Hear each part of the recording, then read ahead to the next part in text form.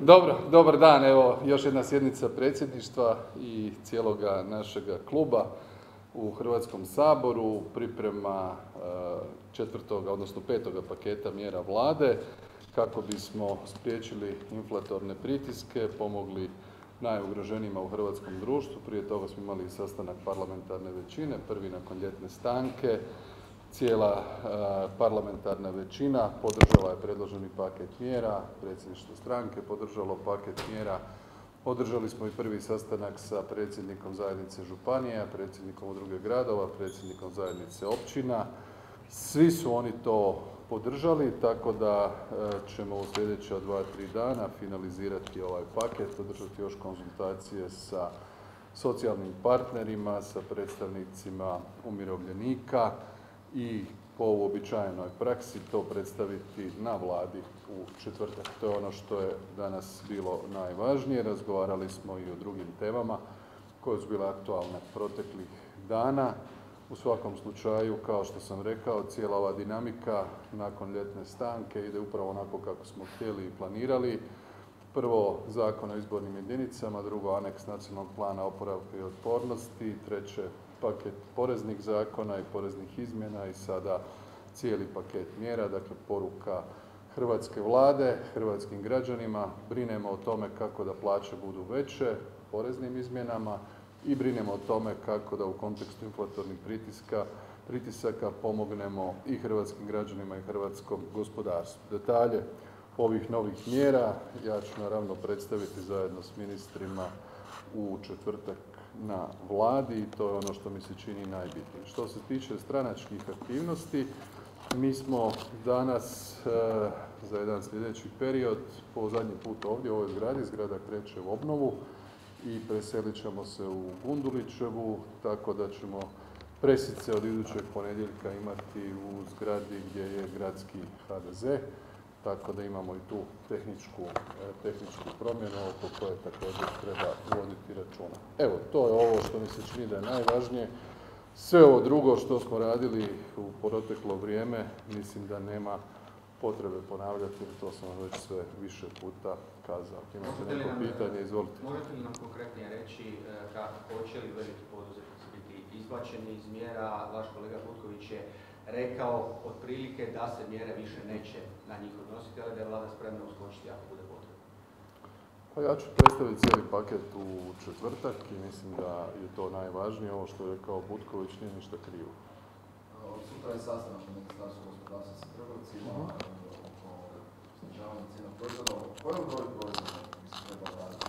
Pa dobro, ja ne zašto izlaze neke stvari koje su neprecizne i netočne tijekom radnih sastanaka. Sutra će biti sastanci u Ministarstvu gospodarstva sa čelnim ljudima najvećih trgovačkih lanaca.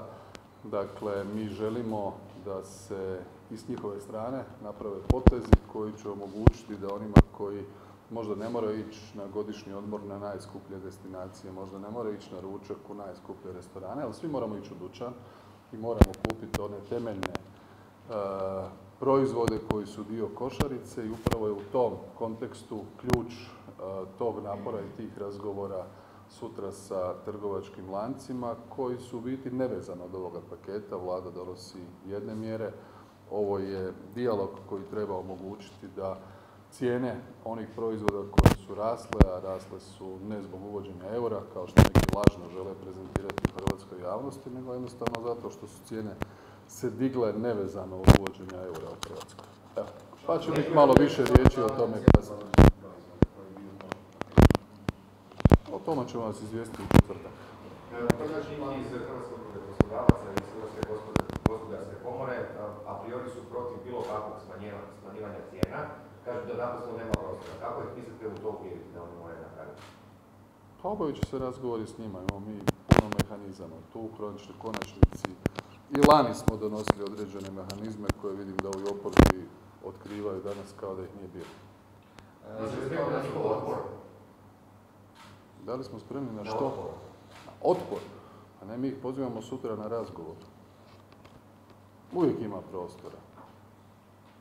Jeste li razgovarali u posljednje vrijeme s Franom Barbavićem? Ja sam imao sad priliku susreti s njim, nije baš bio pričati sa mnom, pričali s vama. Pa bio je na sastancima, HEP je jako važan u kontekstu cijelog a, donošenja paketa u energetskoj krizi, tako da su nam bili važni podaci HEP-a da bismo kalibrirali mjere. A jeste li pričali o krivici za izgubljenih 14,8 milijuna eura? Ne, nismo sada razgovarali o tome, sad radimo paket mjera. Ja vas pitam jeste li s njim pričali? Pa gledajte, ja ponovo ću vam samo reći sljedeće. Sve odluke koje ćemo mi donositi, bit će naše odluke, neće biti sprovocirane ni oporbom, ni medijima, ni bilo čime i kad nam bude a, važno da se s time bavimo, bavit ćemo se. Nije stvar provociranje odluka, nego pozivanje na odgovornost. Dakle, vi ste premijer koji bi trebao ustanoviti tko je odgovoran za to. Dobro, imate li još nešto? Pa jeste li ustanovili?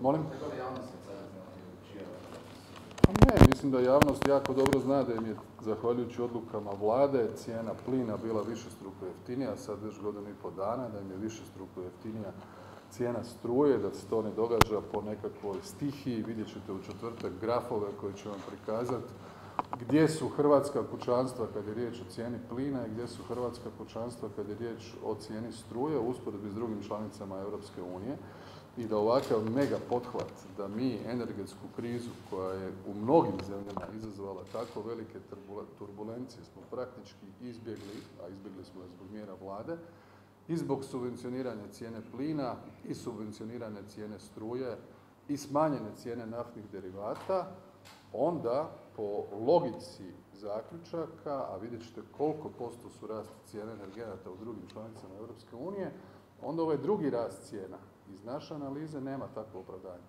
I ovo što vi govorite da nema prostora, ja sam uvjeren da ima prostora. Jer negdje ta jeftinija cijena energenata je manji izdatak za one koji neke proizvode ili rade ili ih prodaju. A u drugim zemljama bili bi više. To je poanta. Znate li trgovci ne pristanu, će li biti neki kontra, kontra kontra? Dobro, sutra su razgovori, dopustite, idemo dan po dan. Jeste optimistični? Četvrtak. Jeste optimistični? Pa nemam ja te faze skepti, skepticizma ili optimizma. Imam jedan realan pristup da upravljamo zemljom u zahtjevnim okolnostima na dobrobit građana, na dobrobit gospodarstva i to po našem dubokom uvjerenju na korist hrvatskog gospodarstva i njegovog kontinuiranog rasta. Kada građani onda mogu očekivati da dođe do snižavanja? Imate li neku procjenu koliko će dugo trajati da se dogovori? Pa ne bi trebalo dugo trajati. Tvrtku Agroprotein? Znam, kako ne. Znate da je vaš ministar Gordan Grlić Znam, znam, 20% znam.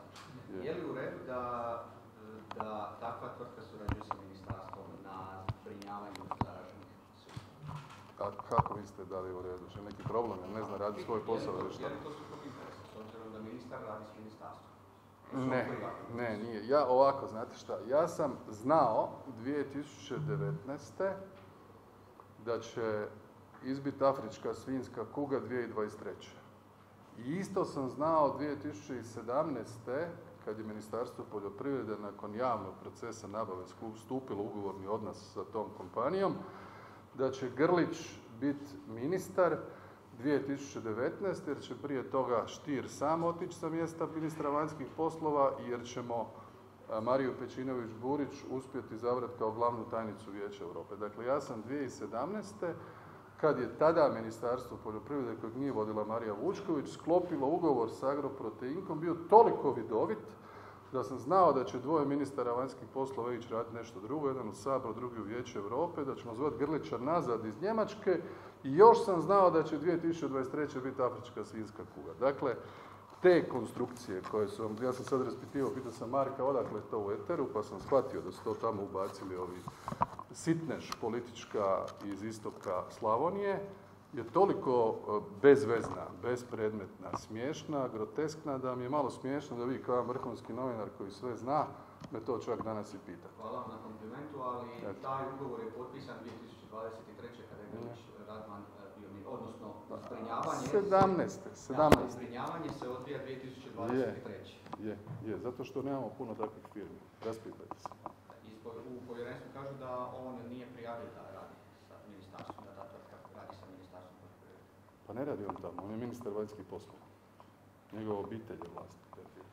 E, Županijske bolnice idu pod ingerenciju države od nove godine. Zašto mislite da je to bolja opcija nego ova sadašnja i što kažete na najave grada Zagreba da bi mogli tražiti ocjenu ustavnosti od Ustavnog suda vezano za tu odluku?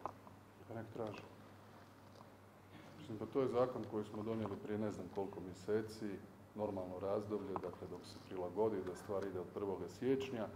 Ja mislim da je to dobro i ovako i onako novce za sve te županije daje država, pa je logično valjda da ima i određena upravljačka prava, neće to biti na uštrb niti grada Zagreba, niti županijskih bolnica, niti će ih iko odnijeti u neku drugu zemlju, u neku drugu županiju.